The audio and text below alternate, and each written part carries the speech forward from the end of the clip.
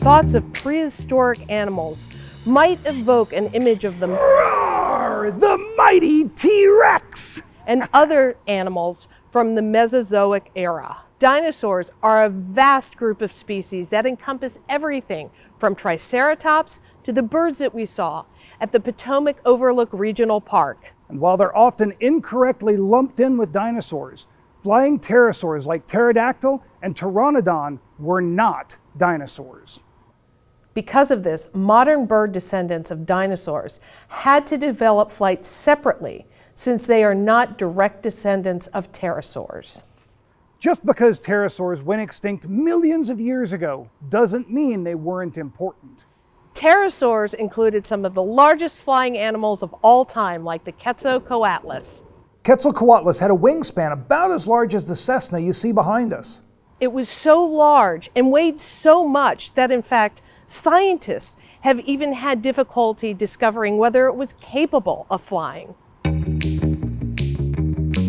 In the 1980s, the National Air and Space Museum and aeronautical engineer Paul MacCready were interested in seeing exactly how something as heavy as a Quetzalcoatlus flew.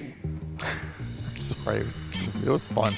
QN, the Quetzalcoatlus northropi, uh, was a giant pterosaur that uh, flew over 65 million years ago. For a movie, an IMAX movie that the museum made many, many years ago called On the Wing, the museum uh, had Dr. Paul MacCready of AeroVironment uh, build um, a scale replica of what QN uh, supposedly looked like. And they used this flying, sailing, gliding pterosaur in the movie, in the early part of the movie. And it could fly, sort of. It was a robot and it sort of flapped its wings, but the real uh, animal probably did not flap wings very much, just, just soared like a large seabird.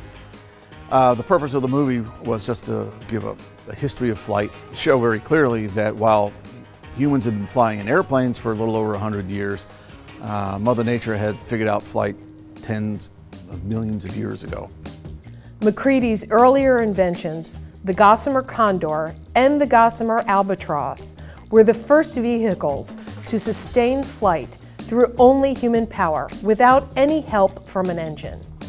Well, Dr. Paul MacCready was uh, one of these rare geniuses that just always one step ahead of the crowd. He made many, many pioneering breakthroughs on slow speed control and slow speed aerodynamics. So he was a natural choice to develop the QN. And of course, it was quite a challenge, and he was one of these type of engineers that would never turn down a challenge and he built it and it worked and it was uh, quite believable when you saw it. Do you have a favorite dinosaur? Let us know what it is down in the comments section. And if you like this video, be sure to follow STEMin30 on Facebook and Twitter and subscribe to the National Air and Space Museum's YouTube channel because it is roarsome!